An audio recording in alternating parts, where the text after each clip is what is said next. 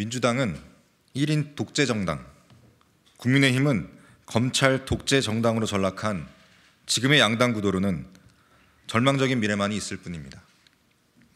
이렇게 독선과 독점에 매몰되어 정치 혐오 시대를 만들어낸 거대 양당을 퇴장시키고 국민들께 상식의 정치, 민생의 정치, 역동적인 젊은 정치로 돌려드리겠습니다.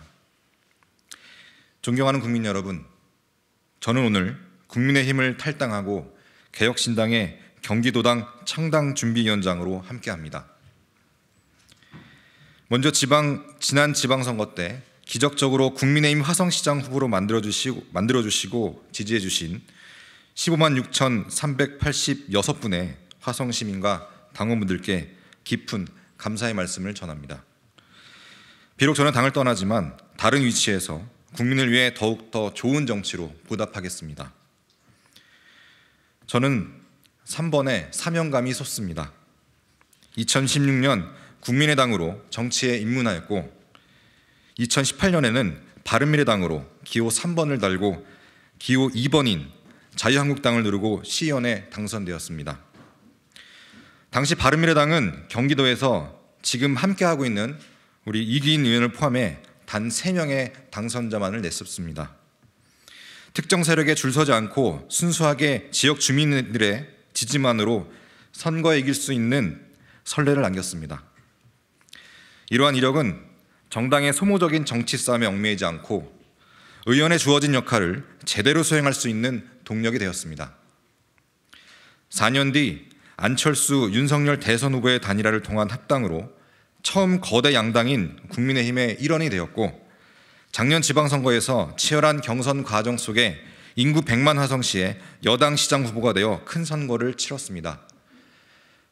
46.69%의 득표율로 비록 석패했지만 거대 양당의 후보로서 선거에 참여하는 모든 과정들은 저에게 의미 있는 정치적 자산이 되었습니다. 물론 이러한 자산을 가지고 당에 남아서 더 편하게 정치할 수 있었지만 처음으로 경험해 본 거대 양당의 정치 환경은 저에게는 굉장히 낯설었습니다. 특정 세력에 의해 개인의 소신은 뭉개지고 능력이 있어도 기득권에 줄 서지 않으면 정치 생명을 이어나갈 수 없는 현실을 보며 그동안에 왜 그렇게 많은 정치인들이 기득권 양당에 도전하였는지 몸소 느낄 수 있었습니다. 이러한 문제의식 속에 이준석 대표가 만든 혁신위에서 천하람 위원장과 함께 당의 혁신을 위해 의견도 냈지만 역시 달라지는 것은 아무것도 없었습니다. 오히려 그 후에 또 다른 혁신이 비대위 지도부가 들어섰지만 특정 세력에 의해 갈수록 비민주적이고 폭력적인 방식으로 당이 운영되어 가는 모습을 보면서 당의 일원으로서 깊은 자괴감이 들었습니다. 많은 일들이 있었지만 최근 특검법 표결, 표결 과정에서 본회의장을 빠져나가는 우리 당의 의원들을 보면서 안타까움과 동시에 절망감을 느꼈고 저는 더욱 확고하게 결론을 내릴 수 있었습니다. 국민의 이익을 대변한다는 국회가 개인 이재명과 개인 김건희를 보호하는 사익기구로 전락한 작금의 정치 현실은 우리 정치인들이 뼈아프게 반성해야 할 부분입니다. 민주주의 파괴, 과거로의 후퇴, 절망적인 미래로 달려가는 이 고장난 열차 당장 멈춰야만 합니다. 자신을 속여가며 미래 세대를 외면하는 정치 세력은 더는 용납할 수 없습니다. 개혁신당은 다릅니다. 국민의 이익을 위해서라면 표는 떨어질지 몰라도 누군가는 손해를 봐야 해결이 되는 불편한 문제들 피하지 않고 당당하게 이야기하겠습니다. 존경하는 국민 여러분, 개혁신당의 역동적인 첫걸음에 함께 동참해 주시기 바랍니다. 건강한 정치인들을 응원해 주시고 지지해 주십시오. 꼭 보답하겠습니다. 지난 6일 고 김대중 대통령 탄생 100주년 기념식이 있었습니다. 자유주의자이었던 김 전 대통령의 관용과 통합의 정신을 되새기는 자리였습니다. 하지만 보도에 따르면 문재인 전 대통령의 배우자이신 김정숙 여사께서 한동훈 비대위원장의 인사를 받지 않았다고 합니다. 저는 이 단면이 적대적 공생 관계인 거대 양당의 민낯을 적나라하게 보여주는 것이라 생각합니다.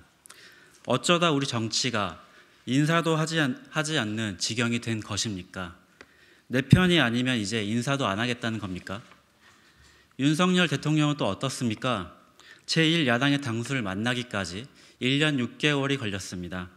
그 시간 동안 대한민국은 합계 출산율 0.7의 소멸국가가 되었고 66세 이상 노인 빈곤율 OECD 1위를 기록하였습니다. 이뿐만이 아닙니다. 수백 명의 사상자가 나온 이태원 참사에서 그 누구도 책임지지 않았고 코로나19의 후유증을 겪은 자영업자에 대해서도 특별한 대책을 내놓지 못했습니다. 카르텔만 협파한다고 우리의 삶이 나아지지 않습니다. 이제는 무책임하고 무능력한 양당제를 끝내야 합니다.